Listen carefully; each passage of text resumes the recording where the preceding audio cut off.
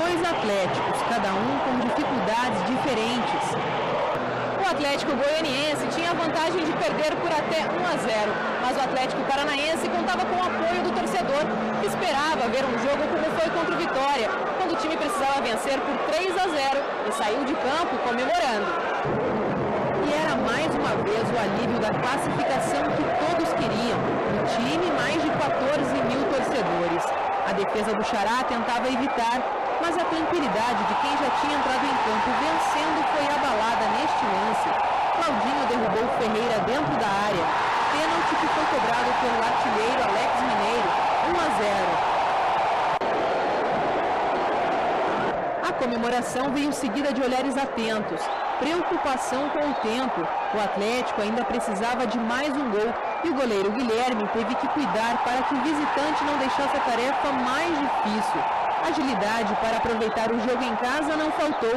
A cada oportunidade, o grito de gol quase saía. E ele ficou engasgado também no início do segundo tempo. Se houvesse algum segredo para fazer a bola entrar, o nome dele seria bola parada. A chance apareceu novamente aos 19 minutos, numa cobrança de falta de Jean Carlos. A bola desviou em Marcão e o Atlético fez o segundo. Os goianos tentaram reverter, mas a noite foi dos paranaenses, classificados para as quartas de final. Nós nos recuperamos duas vezes, mas é, não pode mais acontecer. Então vamos esquecer isso aí, isso aí é coisa do passado, nós conseguimos, vamos trabalhar de uma outra forma para que a gente possa ter sucesso contra o Fluminense. Na hora eu pensei que tinha atrapalhado a, a jogada e tinha, o Janda batendo no meu peito, desviou do goleiro e graças a Deus fizemos o gol. É, acho que a equipe está de parabéns.